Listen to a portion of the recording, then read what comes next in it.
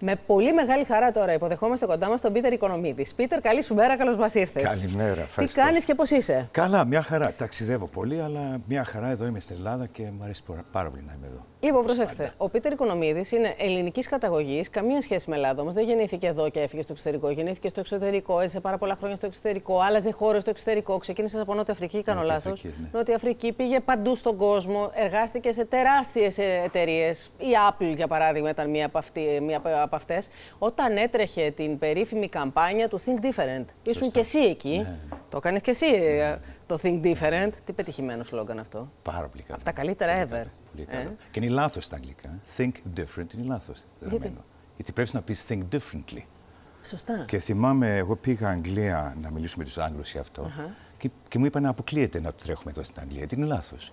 Γύρισα στην, uh, στην Καλιφόρνια και μίλησα με τον Jobs και μου λέει δεν με νοιάζει έτσι μιλάμε στη Καλιφόρνια. Think δηλαδή, different λοιπόν. Think different. Τέλεια. Τελεία και είδαμε και το αποτέλεσμά της.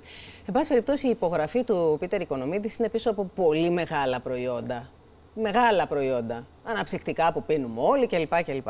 Δεν είναι όμως αυτός ο λόγος που τον καλέσαμε κοντά μας, μόνο για να τον γνωρίσουμε δηλαδή σαν άνθρωπο, σαν α, α, μυαλό, σαν Έλληνα που διαπρέπει στο εξωτερικό.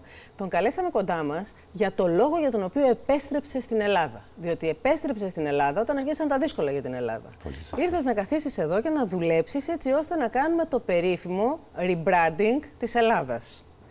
Πώς πάει το project? Ε, κοίτα, αυτό το project ε, ξεκίνησε με μια ομιλία που έδωσα το 2011.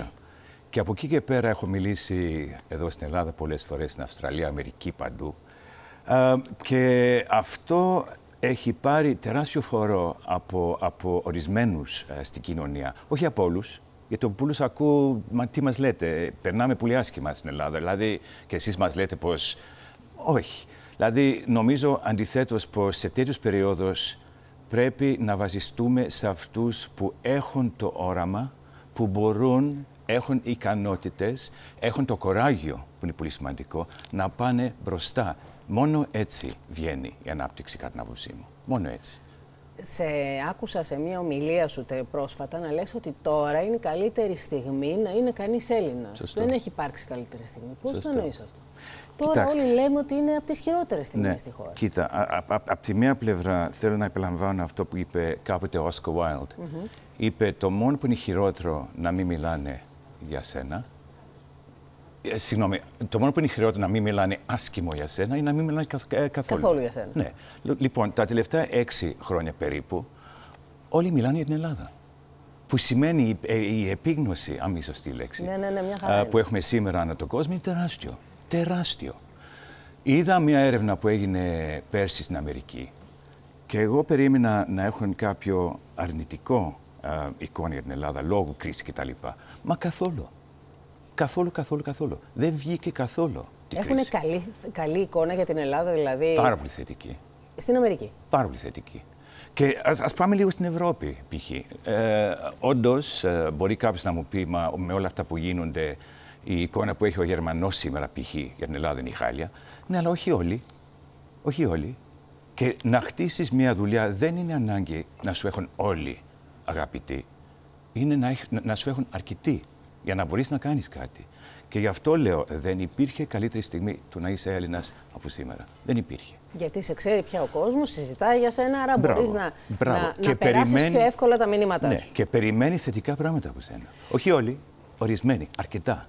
Αλλά είναι αρκετοί αυτοί οι ορισμένοι. Πώς λοιπόν θα μπορούσαμε, αντιμετωπίζοντας την Ελλάδα σαν project, σαν ένα brand που πρέπει να το κάνουμε γνωστό με... και να το αγοράσει ο κόσμος, έτσι όπως κάνεις με τα μεγάλα προϊόντα των μεγάλων εταιριών.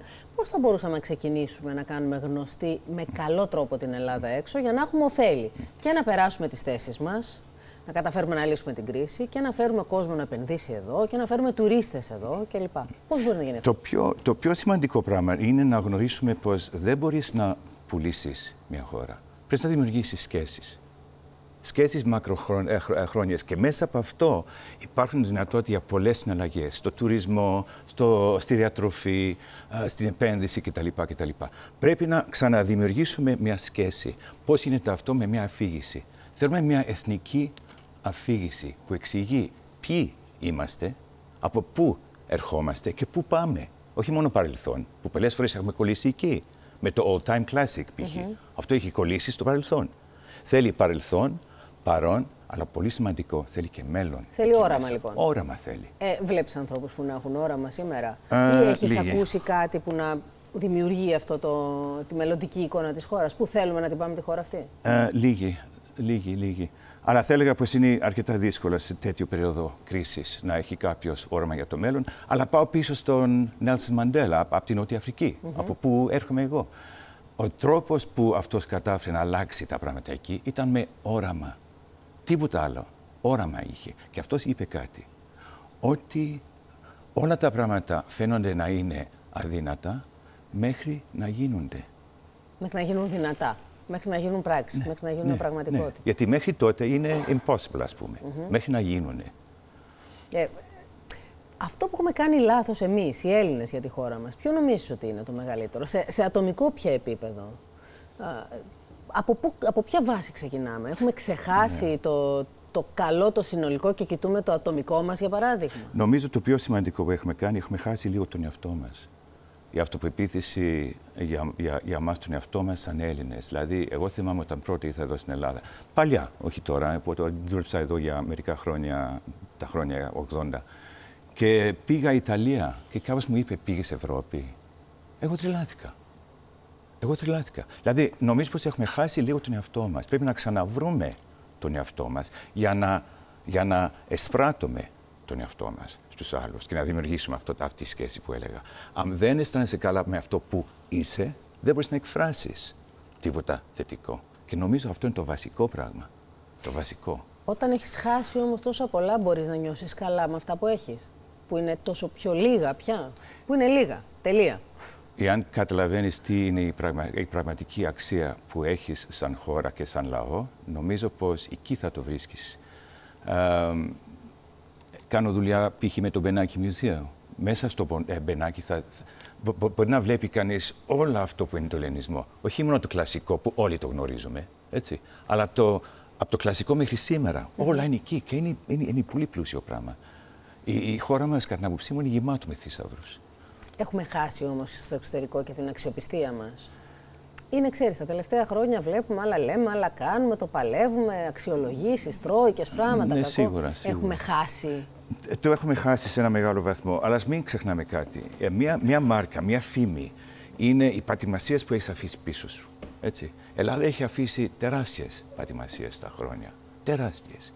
Και τα τελευταία χρόνια είναι ένα πολύ μικρό πράγμα σε σχέση με το σύνολο. Και ο κόσμος βλέπει το σύνολο. Δεν ασχολούνται όπως ασχολούμαι εμείς με τα γεγονότα της καθημερινής. Βλέπουν τα πράγματα λίγο πιο ανοιχτά. Και κάποιος που ζει, ας πούμε, στη Phoenix, Αριζόνα, ήμουν εκεί πριν δύο εβδομάδες, γιατί ε, και γι' αυτό το αναφέρομαι, δεν ασχολείται με τι γίνεται στην Ελλάδα. Βλέπει το, το, το τίτλο στην εφημερίδα, δεν διαβάζει όλο το άρθρο, κάνει λίγο scanning, ας πούμε. Ασχολείται περισσότερο με αυτό που γίνεται στη γειτονιά του. Και έχει μια πολύ θετική εικόνα ακόμα για την Ελλάδα. Δεν μου λες, τι είναι αυτό το οποίο θα μπορούσε η Ελλάδα να δημιουργήσει ως προ- παραγωγή πρωτογενή; Ε, Ο τουρισμός είναι ένα μεγάλο κεφάλαιο. Το αξιοποιούμε σωστά. Ή έχεις αντιρρήσεις και εκεί; Όχι, καθόλου. Είναι ένα Καθόλου. πράγμα που το παίζουμε στα δάχτυλα, Ναι, ξέρουμε. ναι, ναι, ναι, τους φέρνουμε ναι, εδώ ναι, τους τουρίστες. ναι, σωστό, σωστό. Τι άλλο θα μπορούσαμε να κάνουμε. σε αυτό; Τρόφιμα. Τρόφιμα. Βέβαια. Βέβαια, μεγάλη ευκαιρία. Το πιο μεγάλο trend στην Αμερική αυτή τη στιγμή είναι το μεσογειακό, η μεσογειακή διατροφή. Και οι Αμερικάνοι το έχουν καταλαβαίνει, όχι μόνο σαν δίαιτα, αλλά σαν τρόπο ζωής, σαν τρόπο σκέψης, σαν κουλτούρα γύρω από, το, φαγ- α, γύρω από το φαγητό. Και το βρίσκουν πάρα πολύ ελκυστικό.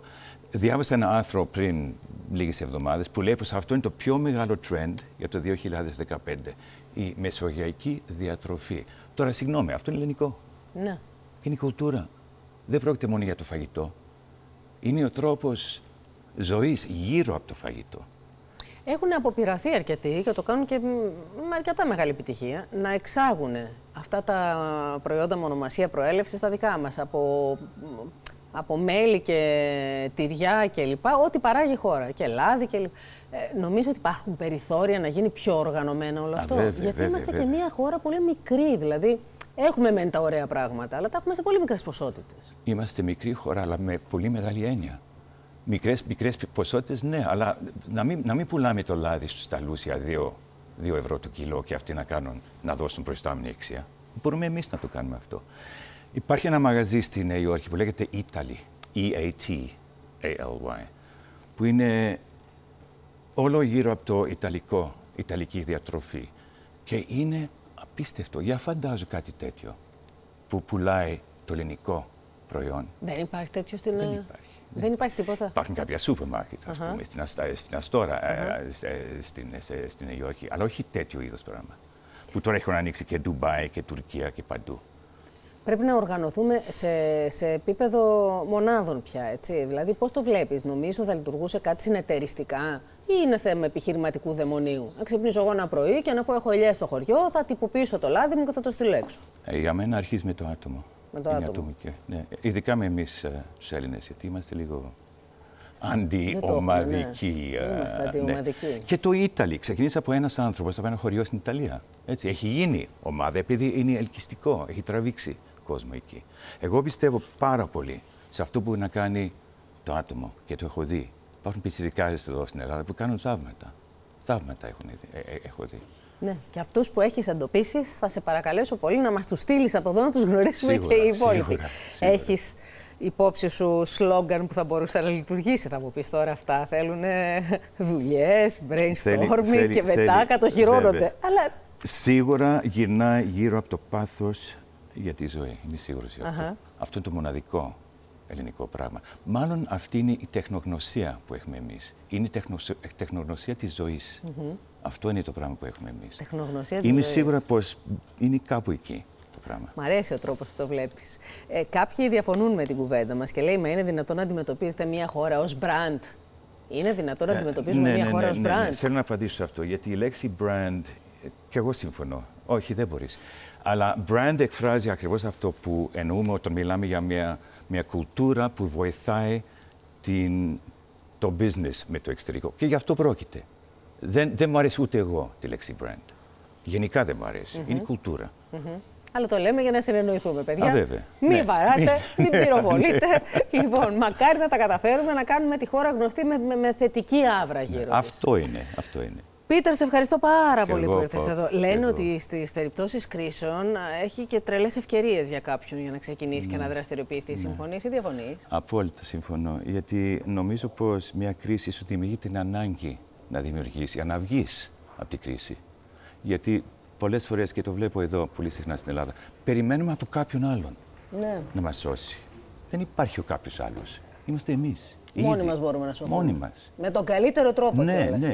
Π.χ. με όλα αυτά που είναι τώρα, μπορεί αύριο να γίνει κάτι καλύτερο με τις διαπραγματεύσεις στην Ελλάδα κτλ. Δεν θα αλλάξει ριζικά τα πράγματα. Εξαρτάται από εμάς. Θέλω να σου πω ότι πόσα χρόνια σε ξέρω μπόλικα, πολλά χρόνια σε ξέρω. Κάθε Αρκετά. φορά που σε συναντώ, έτσι χανόμαστε, αλλά κάθε φορά που σε συναντώ, παίρνω τρομερή ενέργεια από σένα, βρε παιδί μου. Α βρεθούμε πιο συχνά. Έτσι, μπράβο. Κι εγώ πες το τα. ίδιο. Γεια σου, βρε Πίτερ, Γεια να είσαι σου, καλά. γεια. Σε ευχαριστώ πολύ.